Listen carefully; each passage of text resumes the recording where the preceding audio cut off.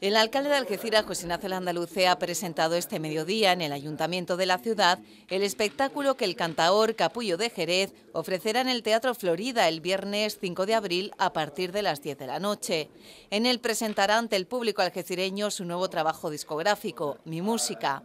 Este nuevo disco llega después de 12 años de ausencia en los estudios de grabación y recoge alguna obra dedicada a Paco de Lucía, Alejandro Sanz y Camarón de la Isla. Estoy muy contento ¿no? de poder presentar disco el día 5 de abril aquí en Algeciras, porque veo que en Algeciras me quieren mucho, ¿no?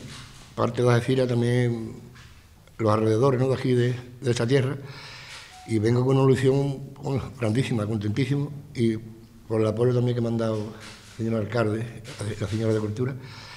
Y nada, y lo que quiero que los alcireños me apoye, que se ponga el teatro lleno, que yo lo voy a dar todo, todo lo que tengo. Presentar a don Miguel Flores Quirós, el capullo de Jerez.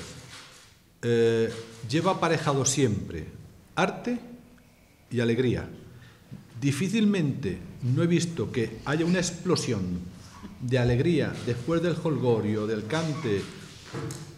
Siempre, maestro, de verdad, en todas las partes donde he tenido la suerte de escucharlo, al final eh, te vas llenito, llenito, llenito de energía. Y de energía positiva, de verdad. Es Jerez, es Algeciras.